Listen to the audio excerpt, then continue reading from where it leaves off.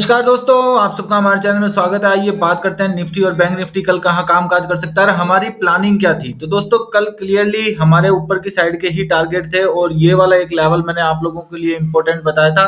21,680 के ऊपर हम बाई की पोजीशन में बैठेंगे लेकिन मार्केट ने क्या किया कि एक ही कैंडल में ऊपर चला गया और वहाँ पर सस्टेन करके फिर रिजेक्ट हुआ। तो दोस्तों, कल ही यानी कि ये मैंने एक ट्रेंड लाइन खींच ली थी। आप भी यानी कि इसको ज़रूर खींच ले। ऊपर का टॉप है जो आपका एक जनवरी का है, उसके बाद में ये कल के हैं। तो यहाँ से इसके ऊपर यानी कि फर्दर अब निकलेगा तो डेफिनेटली आपके ऊपर की साइड में मूव देगा।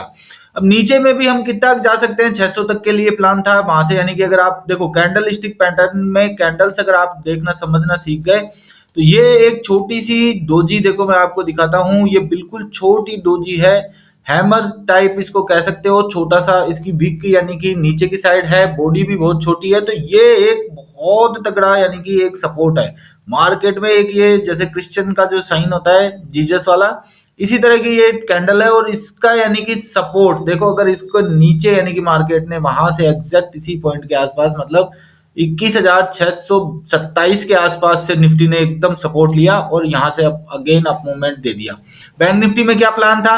बैंक निफ्टी में अपन ने एक क्लियरली कहा था कि ये एक रेंज बन गई है आपकी। यहाँ से जैसे इस रेंज को मार्केट तोड़ता है तो हम एक बाय की पोजीशन में ऊपर की साइड बैठेंगे। अब यहाँ पे देखो, जब मार्केट खुला ही ऊपर और फिर एक लोअर लो बनाया तो यहाँ पे आप ऊपर के लेवल पे सेलिंग कर सकते थे या फिर जैसे ये वाला लेवल तोड़ता है। तो यहाँ से भी मतलब अड़तालीस हज़ार पचास का लेवल भी अगर तोड़ता है तो नीचे में डेढ़ सौ, दो सौ पॉइंट के लिए अगर आप देखो तो एग्जैक्ट दो सौ पॉइंट आठ सौ चालीस तक मार्केट ने आपको नीचे की साइड में भी ट्रेड दिया। तो दोस्तों, कल का जो सेशन था फ्राइडे का सेशन रहता है तो उसमें वॉलिटिलिटी कम रहती है तो उस वजह से मैं भी यानी कि टेलीग्राम में आप लोगों के लिए कोई ट्रेड अपडेट नहीं करता इवन कुछ। कई बार मैं भी इग्नोर कर देता हूँ तो उस वजह से क्या है कि नॉर्मली हमें ट्रेड नहीं करनी चाहिए इस दिन, क्योंकि इसके अंदर सबसे बड़ी समस्या ये रहती है कि वॉल्यूम्स नहीं रहते।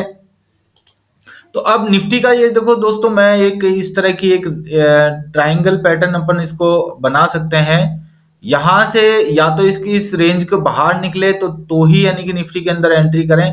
अदरवाइज़ इसके अंदर आप ट्रैप हो जाओगे टाइम डीके का लॉस या जो भी है, सारी की सारी समस्या हो जाएगी। तो चलिए बात करते हैं निफ्टी के अंदर। ये मंडे को अगर ये वाला पॉइंट देखो, ये यहाँ का हाई है।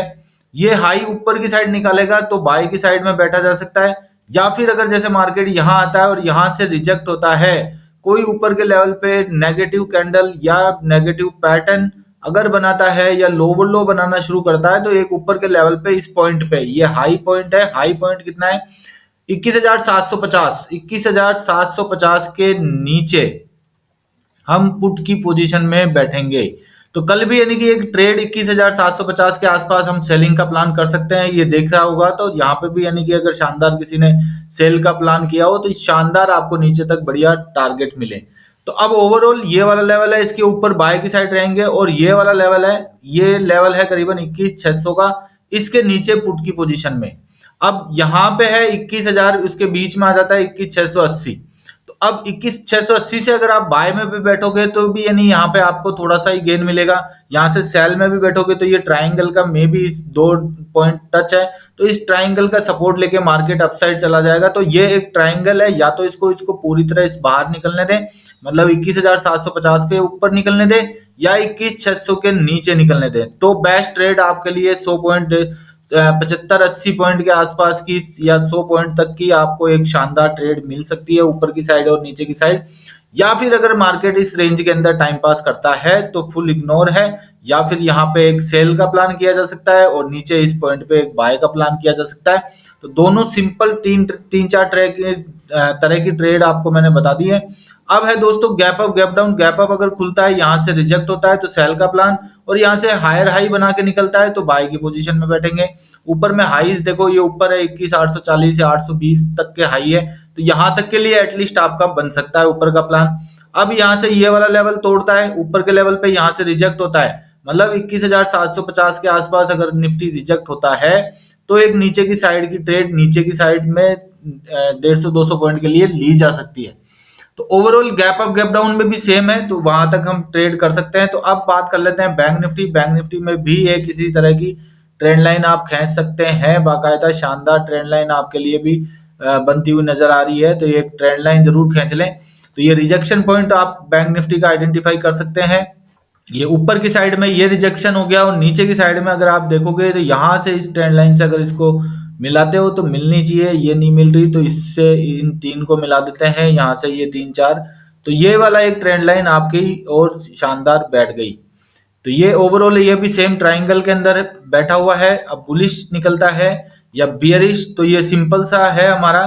तो ऊपर की साइड में बाय की पोजीशन आप फ्रेश बाय अगर आप करने हैं तो या तो जैसे टॉप निकालता है मतलब अड़तालीस हज़ार चार सौ के ऊपर निकले तो बाय की पोजीशन में बैठेंगे, या फिर अड़तालीस हज़ार हज़ार आठ सौ। तो सैंतालीस आठ सौ के नीचे पुट की पोजीशन या फिर यहाँ पे अगर मिले तो इस ट्रेंड लाइन के पास में सपोर्ट ले तो बाय की साइड में बैठ सकते हैं। ऊपर में 200 पॉइंट के लिए टारगेट रखें मतलब अगर ये वाला पॉइंट अगर आपका आता है सैंतालीस नौ सौ तो अड़तालीस एक सौ पचास तक के लिए बाय की पोजीशन और अड़तालीस हज़ार पचास भी आपका एक शानदार रेजिस्टेंस और सपोर्ट का काम करेगा। मतलब अगर मार्केट ये अड़तालीस हज़ार पचास के ऊपर है तो सपोर्ट का काम करेगा, और ये इसके नीचे है तो फिर एक रेजिस्टेंस का काम करेगा।